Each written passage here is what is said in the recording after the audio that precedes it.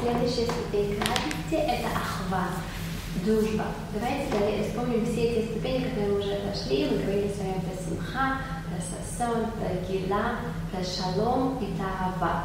Давайте только встаем на русский язык. Да, у нас была радость, такой восторг, если можно так сказать, благодарность, гила.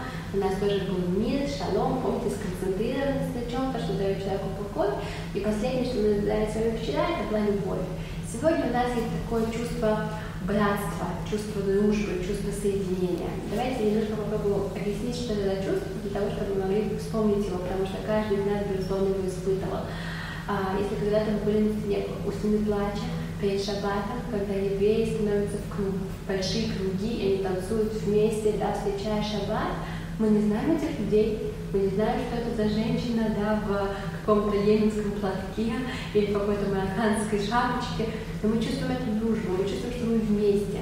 То же самое происходит на еврейских свадьбах, когда мы танцуем радуешь, радости жениха и невесты.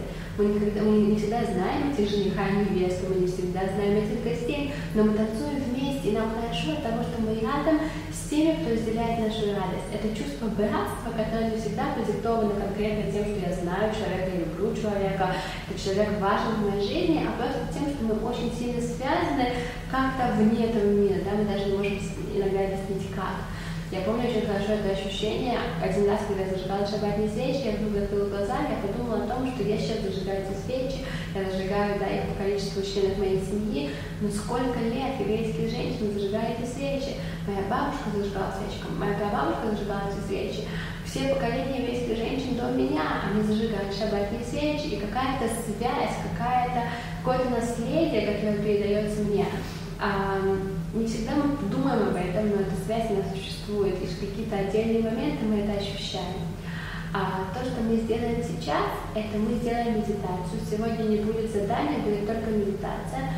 Но медитация, она будет очень сильно работать вот с этим ощущением связи, внутренней связи с другими людьми, с близкими людьми, со Всевышним. Очень интересно, что все это должно идти, а, начиная со связи с собой. Когда человек чувствует связь с собой, со своей душой, тогда он уже чувствует уже связь с близким человеком, со своей, со своей семьей, потом с более дальним человеком, с другом, со знакомым, и потом с, просто с евреем или с любым человеком на земле.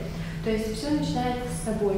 Чем меньше у меня есть связи с собой, со своей душой, тем меньше я могу потом чувствовать настоящую связь с другим. И если я да, ее чувствую, то я буду постоянно переживать за нее, я буду, разрушать эту связь, потому что если связь со мной, она не гармоничная, не четкая, да, я ее постоянно теряю, тогда я буду терять тоже связь с окружающими меня людьми, со Всевышним.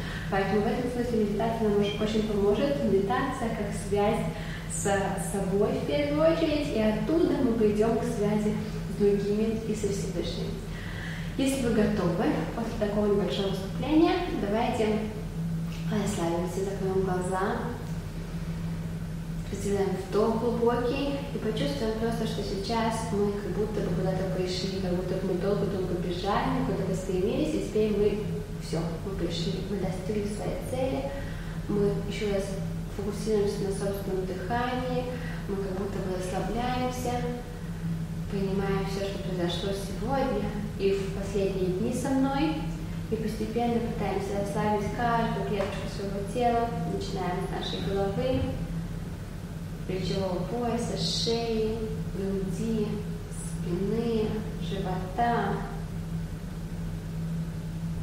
Почувствуйте, как будто тот стул или диван, на котором вы сидим, как будто он полностью может вас держать, вам не нужно специально себя держать, как будто бы весь ваш вес и все, что весь все вы, можете как будто бы полностью погрузиться в этот диван и полностью сбросить лишнее напряжение. Потом расслабьте поочередно ваши ноги, икры, ступни, пальцы ног. Пусть все будет в абсолютно расслабленном состоянии, и пусть это поможет вам почувствовать себя, почувствовать ощущение своего тела и ощутить, что Всевышний находится прямо рядом с нами сейчас, в этой комнате, он помогает нам, он наблюдает за нами, охраняет нас, отгоняет от нас все ненужное, притягивает в нашу жизнь то, что нам действительно необходимо и важно. А теперь представьте себя посередине круга, и вокруг вас стоит ваша семья, самая близкая семья. Мама, папа, у кого есть муж, жена, дети. Самые-самые близкие люди. Представьте себя посередине, а их вокруг себя.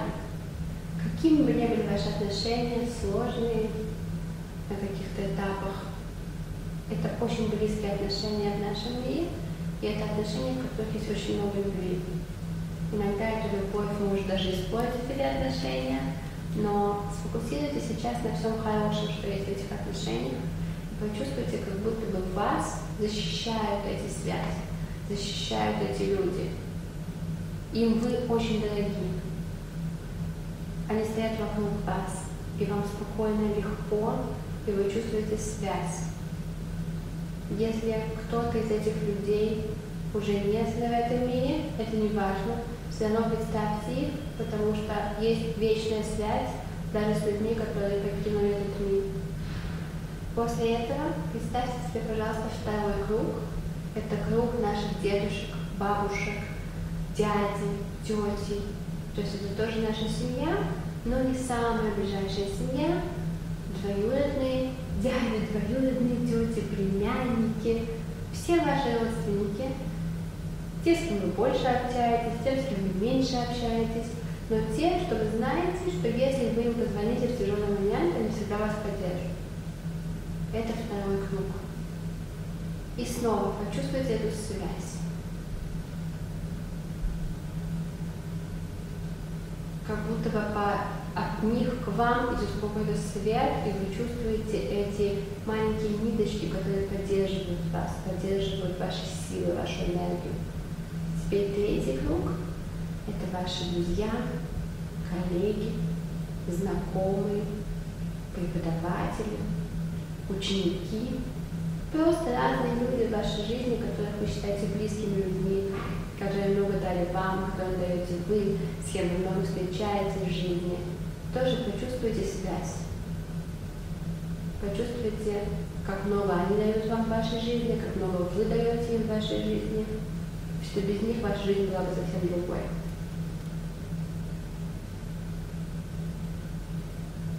Еще один круг – это круг ваших предков, тех, кого, может, никогда не видели, или вы знаете только по фотографиям бабушки, прабабушки, прадедушки, прапрадедушки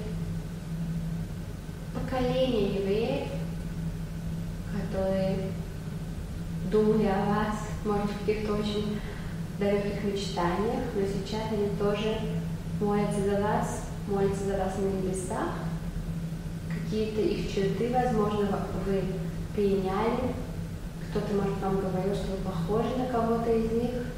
Есть очень глубокая связь, которую мы чаще всего не знаем, не осознаем, но она существует. А дальше представьте себе еще много-много-много кругов. Это весь еврейский народ. С каждым из них вы как связаны. Это ваш брат или ваша сестра. Когда кому-то плохо, всем плохо. Когда кому-то хорошо, всем хорошо. Представьте себе эти тысячи кругов, которые все равно связаны с вами. И вы чувствуете их боль, и вы чувствуете их радость. И они чувствуют, как вам сейчас, и их судьба меняется в от ваших поступков, и ваша судьба меняется в от их поступков. Дальше можем расширять сколько угодно эти круги до всего человечества, а теперь почувствуйте, как все эти круги растворяются во Всевышнем, потому что все мы в конечном счете находимся внутри высшего божества, внутри Творца. А теперь, после этой немного мистической медитации, давайте с новой колонной скажем известные всем слова Шма, Исраэль, Хашем, Локейну, Хашем, Эхад. И сделаем особенный акцент на этом слове Эхад, что как бы мы не были разрознены, как бы мы не были отличны друг от друга, со своими традициями, взглядами, пониманиями, мы все одно. Мы все один народ, и только вместе мы можем реализовать свой потенциал, для которого мы пришли на эту землю. Еще раз скажите несколько раз. Эхад, Эхад, эхад. И в этом единственная наша сила, и это то, что в итоге приведет нас к нашему финальному избавлению. Теперь с этим ощущением того, что вы частичка чего-то очень большого, очень мощного, очень сильного, как будто бы все это как щит, который вас охраняет, давайте постепенно принесем это чувство с собой в нашу повседневную жизнь. Пять, четыре, три, два, и постепенно откроем глаза. Я очень надеюсь, что это достаточно мощная медитация получила. Она у вас получилась, вы почувствовали себя вот этой частичкой чего-то большого. Мне будет очень интересно узнать ваши ощущения, потому что плохие ощущения, тяжелые ощущения, слезы иногда, которые возникают у нас в момент медитации, это все большие подарки. Это подарки, которые дают нам понимание, силы и вдохновения идти дальше. Хорошего.